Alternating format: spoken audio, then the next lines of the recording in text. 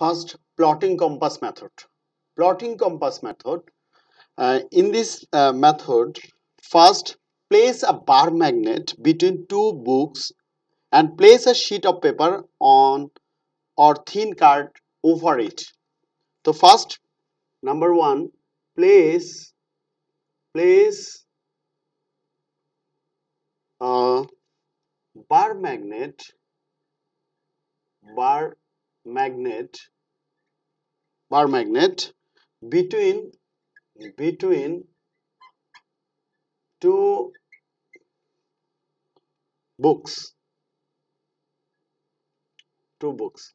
First we have to place a bar magnet between two books. Then and place a sheet of paper and place place a sheet of paper sheet of paper paper paper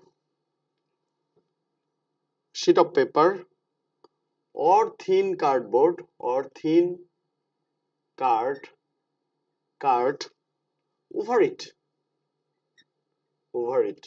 So uh, remember uh, place a bar magnet between two books and place a sheet of paper or thin cardboard over it. Then then sprinkle sprinkle sprinkle some iron filings some iron filings filings on the paper above on the paper on the paper paper over over the magnet over the magnet over the magnet over the magnet. Number 3 number 3 tap the paper very gen gently.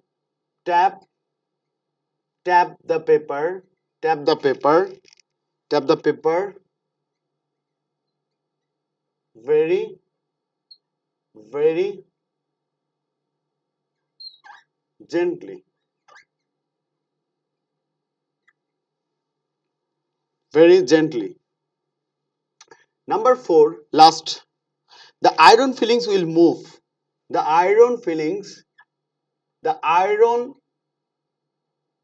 fillings uh, will move will move to show show the magnetic field pattern. The magnetic field pattern. Magnetic field pattern. Field pattern. Pattern. Magnetic field pattern. So uh, iron filings method place a bar magnet between two books. So uh, place a bar magnet between two books and place a sheet of paper sheet of a white paper over it or thin cardboard thin card over it. Sprinkle some iron iron filings on the paper over the magnet. Tap the paper very gently.